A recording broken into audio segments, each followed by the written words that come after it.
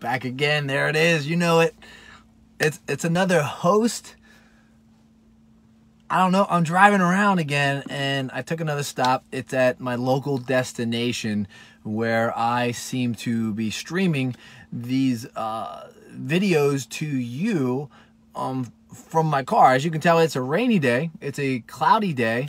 Um, however, we're going to bring you some brightness and we're going to bring you um, another stretcher activity and another stretcher routine where we're going to be working on the wrist and the hands from the car. So if you get moments in your day where you're traveling, um, as you start aging, you get not only do you get arthritis, but the weather changes, and then with that arthritis, with the aging process, with uh, the uh, sarcopenia, that's the age-related muscle loss, with the dynapenia, the age-related strength loss, with the musculoskeletal changes, you might say to yourself, Jesse, um, I kind of like get pains and I get discomforts and I can tell when the weather is changing because I can feel it in my hands, and I can feel it in my neck, and I can feel it in my bones um, because I had a broken bone or I got arthritis or I injured myself. Well, typically it's not necessarily because you injured yourself or you have the arthritis or the aging process. It's because the musculoskeletal it changes over time. You don't have as much say muscle or strength. You don't have enough as much cushioning as you used to have in in the in the past. However, um, arthritis does part play a part. Overuse does play a part. Injury does play a part in feeling some of those weather changes. However, there's not a direct correlation just to weather changes and the fact that you might have broken a bone or you have an injury. It's a multitude of things that change muscular skeletal over time. So we want to kind of work on trying to take away some of that discomfort, maybe some of that overuse that you're feeling in those hands um, throughout your journey or throughout your lifetime, just holding onto that steering wheel, or every time you got to cash out or give somebody some money, you're kind of just holding onto that money. You don't want to give it to them right because you want to keep it yourself so that you can uh, ascend that ladder where it is, wherever you might be, where you might be driving to today, or you might just be at home on this uh, stretcher day. We're going to be working on hands and we're going to be working on wrists and hitting some of those fingers as well along the way. So this is another stretcher. I'm your host, Jesse Swoyer, nationally recognized inclusive fitness trainer, silver sneaker flex instructor. You can find out more about me by visiting my website at www.jesseswoyer.com. So with that being said, you know, without further ado, you know who's back. The style and profile wheel and deal. Shake, shake, shake, shake, bacon. Moving and grooving. I got no camouflage on, but I am sunroof rocking, high flying, not limousine riding, Audi riding, Silver Sneaker Flex instructor, bringing you this stretcher for the hands, for the wrists, and for some of those fingers. And I'll see what we get to today. We might not get to it all, and then you'll just have to tune in next time for the next version of this stretcher.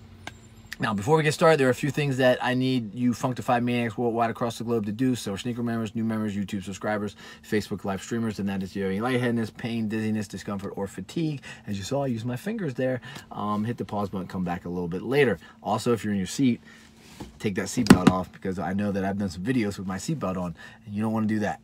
Number two would be the stretcher five. And that stretcher five is that you should always consult with your physician before engaging in any physical activity program. By participating in this online exercise with me, you assume all dangers, hazards, risks of such participation. Exercises demonstrated by the instructor in this online class can be demanding. If you're unable to safely perform these exercises, please modify them or choose a different set of exercises. Number two, really important here, I can't see you, all right, and I can't hear you. So really pay attention to your form, pay attention to those mechanics, and um, make sure if you are in a seat, that you're sitting up nice and tall. As you can see, I just repositioned myself.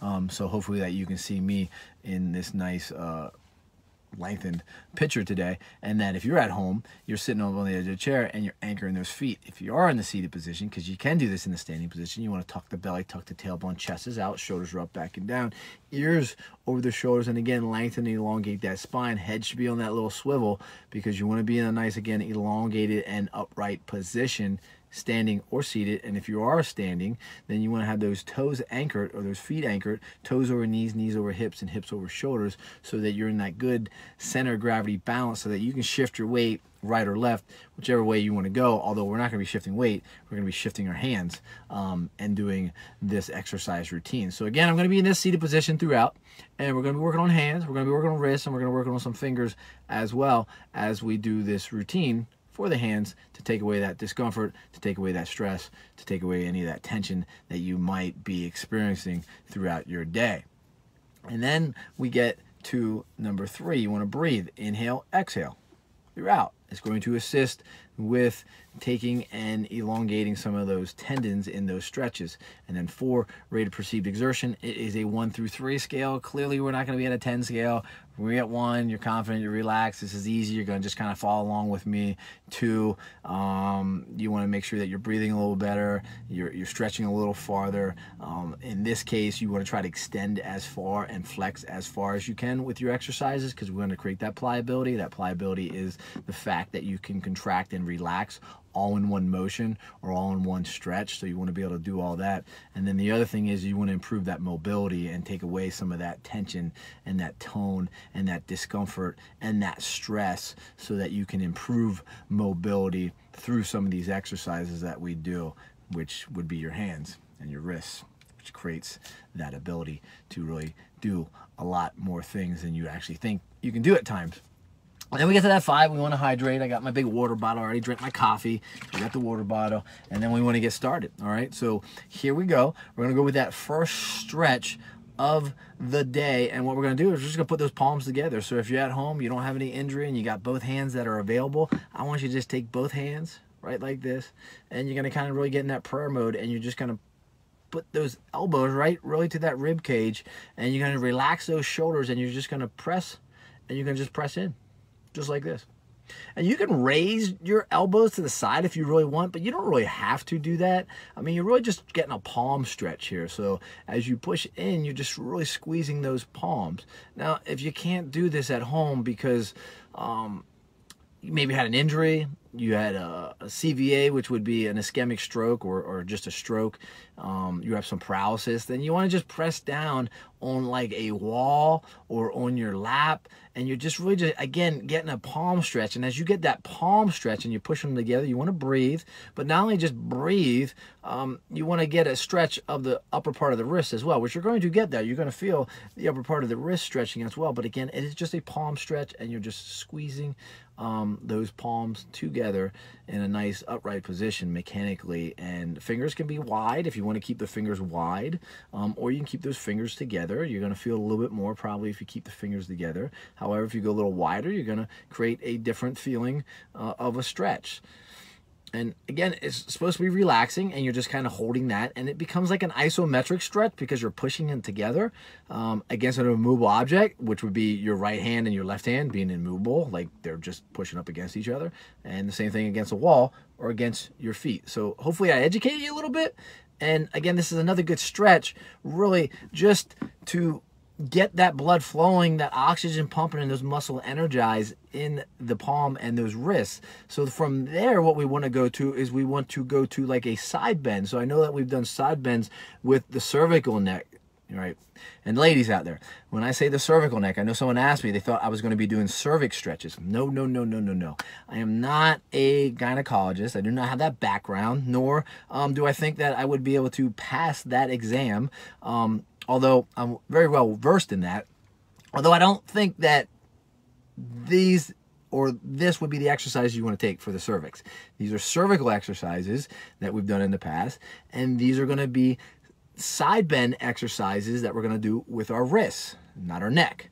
So side bend exercises with our wrists and our hands. So again, you're going to be in the upright position and you're just going to side bend. Just like that and you're to side bend again.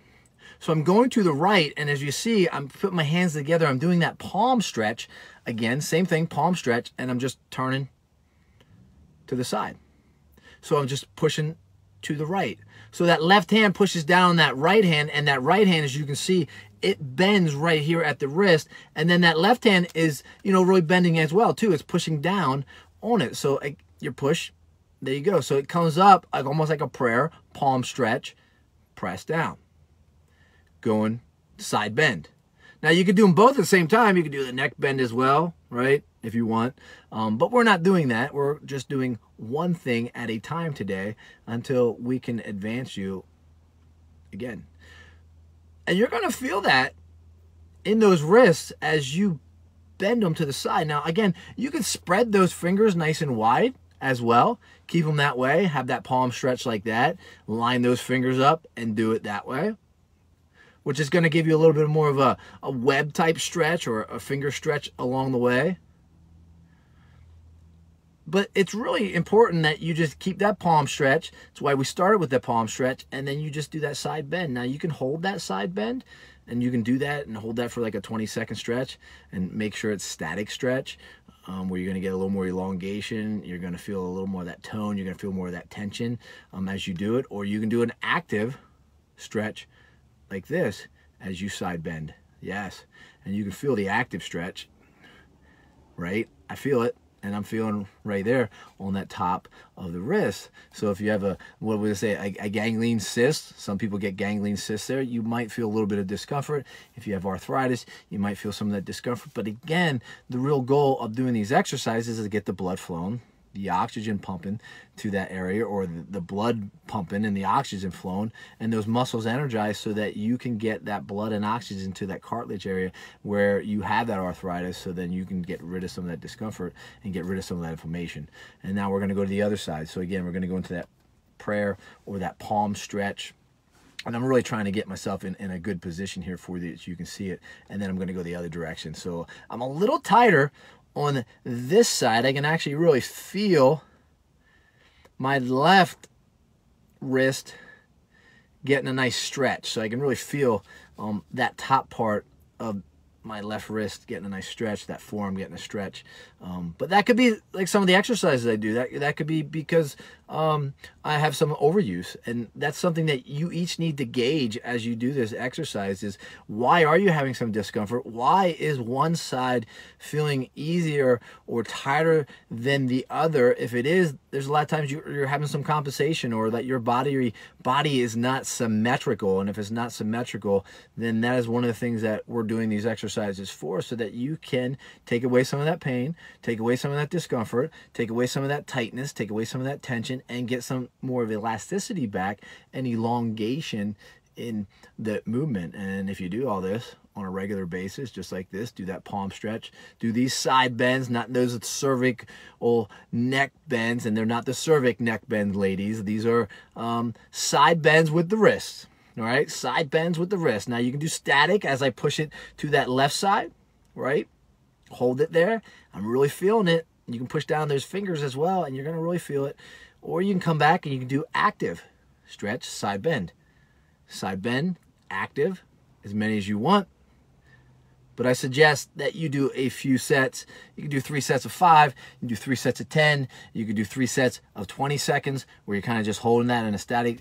Um, find something that works for you and that you can do this on a regular basis. Now, you can take those palms again as I've showed before, and really spread those fingers, get a more of a web, and then hold it as well. And that would work um, just as good. So there you have it. There's a couple exercises right there for you. Um, a palm stretch, where it's isometric. You have your side bend to your right side, and then to your left side. And then we're going to do a rotational um, with those wrists as well. So you're going to think rotational, you could do rotation wrists this way. We're going to do them again in that palm stretch routine where we're to put those palms together. And again, if you need hydration, grab the hydration. And we're going to just circle those hands. So I'm going to actually dip them forward towards you, right? Like I'm like throwing something out towards you, right? And I'm going to rotate those wrists with that palm stretch and I'm just keeping them together as best I can. So hopefully you can see this video at home and I'm going to that right, I mean left, and then I'm going to that right. Now, you gotta realize that everything I do is backwards to you um, or to me as we do this. So when I say I'm going to my right, that is really my left, um, but it's your right. So you wanna go to the right because you're right. and you're just circling. So I'm going to that right, I'm dipping down, and then I'm coming up. Coming back towards me, and I'm just getting that circle motion and rotation through. There you go. And this becomes a little more active as I move it and probably a little more ballistic as well. How does that feel as you warmed up and shake them, right? There you go, shake them. And we'll get to that in a second too. So that'll probably be our last exercise we do, but we wanna go the opposite direction. So again, these are all palm stretches. Um, like I said, we're gonna do wrist stretches, we're gonna do hand stretches, we're gonna do finger stretches, and we're really working on on these palms right now. So you can rub them together too and heat them up and get them ready and maybe take a Tai Chi class with me as well. But again, pushing them together. We just went to the left and came around. So we want to go the opposite direction. So we want to go to the right now and come around. There you go and come back. So again, you're taking stress and strain off the shoulder region. So you don't want to be on the shoulders. You want to rest those elbows into that rib cage and you're just circling them through. So as you can see, I'm just circling through. Now, this is to be a little easier at home than the demonstration that I'm giving you because I'm giving this demonstration so that you can see my hands go through this motion. Where at home, you're to be able to relax those hands um, and see a, a, bigger picture or be able to relax those shoulders a little bit more instead of me being a little tight through this motion. So again, you're just kind of really pushing pushing through. There you go. Nice circular motion. Nice circular motions. Ooh, I'm feeling it. How's it feeling? Nice circles. Circle, circle, fast, fast, fast, fast, and circle. And shake them. So now that was a dip forward and down. So again, you can come back and around as well. So you can come back and pull them and around instead of dipping forward and coming around. So you can come back and circle, pull them back and circle as you see it. So it changes the the formation. It, changes where you're actually impacting the wrist. So when you go down, you're flexing. Now I'm really working on the extension part as I come back to the right. I come back to the right and go to that left. And then I circle down, right? Down, look. Now I come back with them, right, towards me. And then I circle down. So I'm flexing those wrists, as you can see, flex them. Circle them back. Now this would be good for someone that's kind of just like you're golfing, you're a baseball player, you're, you're just trying to warm up those wrists. You may be uh, a football player, bowling, just to really strengthen those wrists. I know some of you might take some bowling, um, just recreational bowling. Some of you might be professional bowlers out there and you're going to feel this. Pull them back. You might, hey, this might even work for being a fisherman if you're a fisherman, if you like fishing. I mean, I'm not a fishing, but it's good weather to go fishing. So, hey, get your license, go fishing, um, and just keep coming back to these exercises. And I'll tell you what, you might get that big old trout, you know, that big, I don't know, the trophy trout. So we just kind of went that way. So we want to go the opposite direction. So now I'm actually going to bring them back towards me this way and I'm going to go towards that right side now. So now I'm going to come back towards that right and go towards the left. So back towards the right and go towards the left. There you go. And I'm just circling the opposite direction. So as you can see, as I circle back, I'm actually really bending. So I'm doing that, right? I'm doing that side bend and then I'm coming back, extending, and then I'm side bending to the left and then I'm flexing. So flex, side bend, extend, side bend, flex forward, side bend, extend back, side bend, and flex forward. And I'm really feeling those wrists get some work through this motion. Whew. And they're really going like that. So now you can really just try to really get that motion. And they're warming up. And I can feel it. And I can feel myself warming up here. And then we're going to just do some finger licking good. There you go. And just jazz fusion it out of the way. And then you know what that means. Peace. I'm done. Make sure you hydrate. Make sure you have some fun during these exercises. Um, and really, again, pay attention to that rate of perceived exertion and continue to come back for these stretcher exercises. That was the palm stretches a few of them your way, And then, like I said, I was gonna throw some finger stretches in there as well. Ah, jazz fusion. Peace, my friends. I'm out.